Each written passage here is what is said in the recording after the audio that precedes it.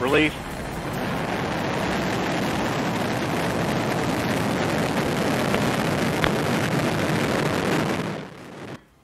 Tonight, a successful test flight that's crucial to the future of astronauts in space. Boeing Starliner capsule now embarking on its second ever orbital test flight headed for the International Space Station. And as you just saw, was a beautiful launch from the Space Coast. News 6's James Sparvero is out at the Cape tonight and has more on the mission and what this means for the future of spaceflight.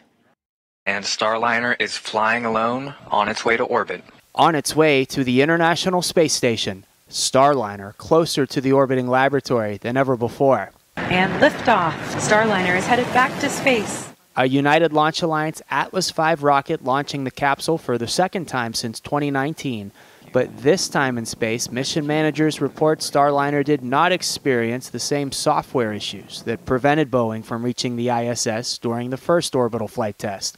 In a press conference after the launch Thursday night, NASA says docking with the station is on target for Friday.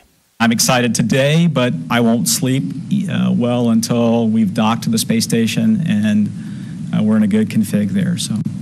Boeing reporting two of Starliner's 12 thrusters failed to work, but the spacecraft can still complete the mission without them.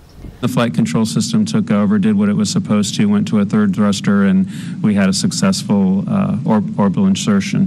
NASA says Starliner will need to dock at the space station for about five days and then fly home successfully before Boeing can be granted its first astronaut mission to the station.